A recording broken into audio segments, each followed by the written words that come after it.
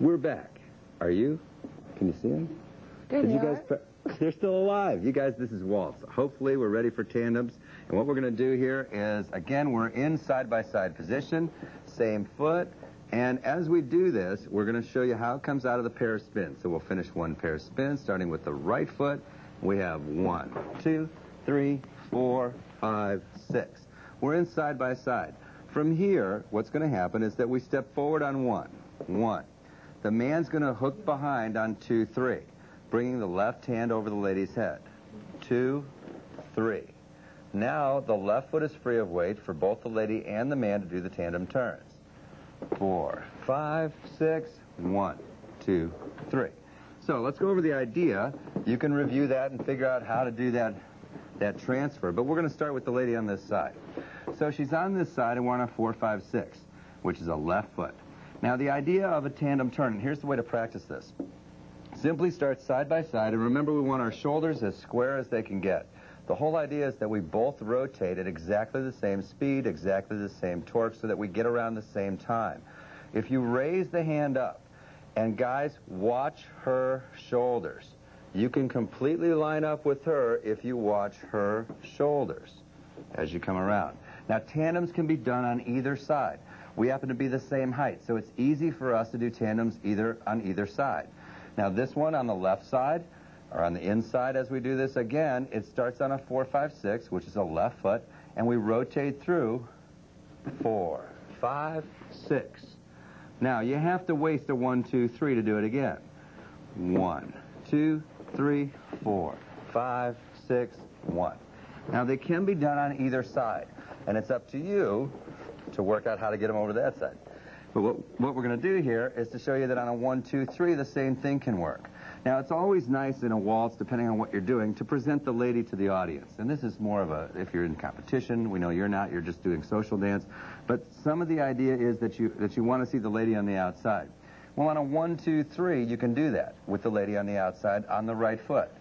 One, two, three, four, five, six, one, two, three, four. The only problem with that is height difference. Okay? And really, it just depends on where you are for the movement. If you're, again, as long as you make sure that when the lady's on this outside and you're traveling that direction, that you keep your hand as much over her head or in between you as possible. Don't bring that hand over your own head and pull the lady off, because usually you'll get done and go, why'd you bang into me?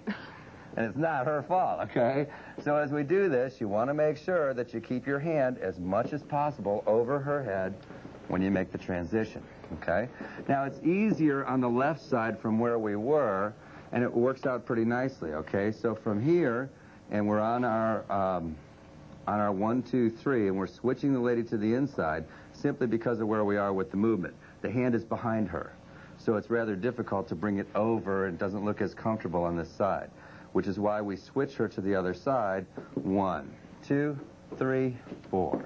Then we have movement there, and she travels so it looks nicer on this side. So you're going through a four, five, six, and again, during that tandem together, four, five, six, one, two, three.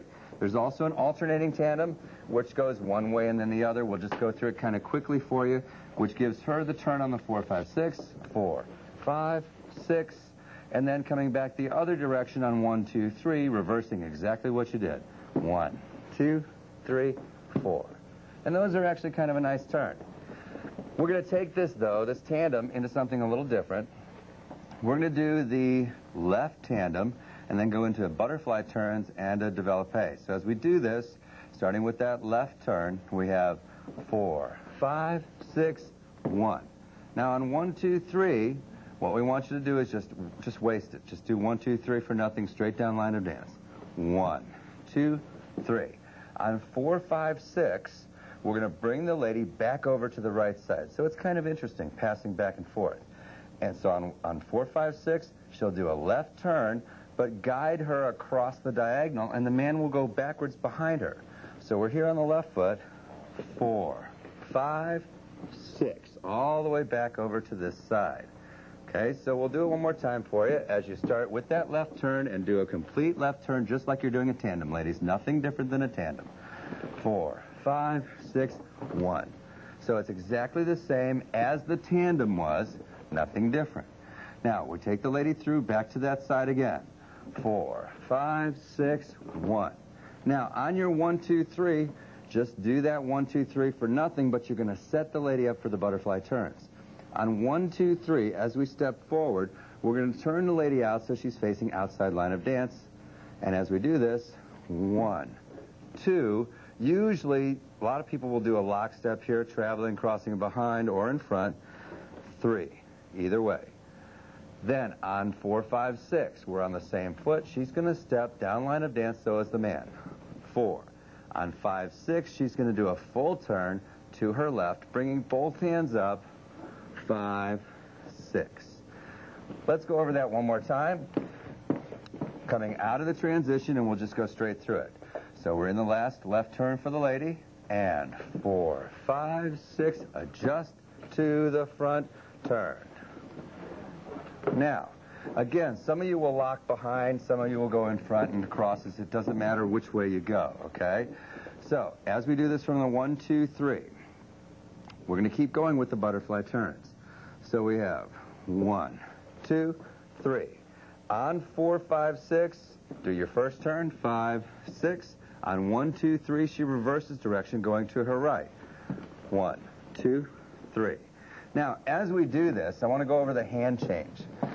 And really, when, when people do the butterfly turns, lots of times they just sort of go down. Who cares? Catch. Who cares? Okay, that's all right. And realistically, if you keep your hands up there, it really doesn't matter because the lady knows as she turns, the hands go up, then they go down, and they go up. It looks like ballet class. I'm not great at ballet. So as we do this, the idea for her, you can do that, guys. You can keep the hands just straight above her. On a four, five, six, four, five, six, one, two, three, and just keep the hands up with a nice platform. Now, if you want to get a little more technical on it, you'll find that it's easier to transfer down, and I'll use, normally as I step with my left foot, I'll use my left hand to maintain contact because it's above the other hand normally. When I go off of the right foot, I usually use my right hand to maintain contact. So you'll find that, and if you practice this a little bit, if you use the left hand off the left foot and the right hand off the right foot, it drives the correct way and makes it easier to be able to change those hands. However, that works too, just holding the hands up, okay? So those are the butterfly turns. Now we're going to take the butterfly turns into a developpe. Now, in the movement that we're doing, a, de a developpe or a developpe, as, as we call it in ballet, again, I'm not great at ballet, uh, is a real nice movement where the lady gets to do a leg styling, and we do these a lot. As you're coming out of the butterfly turns, we'll do a couple of them, all right, starting with a four, five, six, four, five, six, one, two, three. Now, on four, five, six, I'm going to let her turn, for, for sake of argument, just a half a turn. So she's going to step through on her 456. Four, five, six. As she steps back on one, two, three, she'll step back with her right foot. As the man steps forward, one. Now, I had a chance to change feet right there if I wanted to, and I did.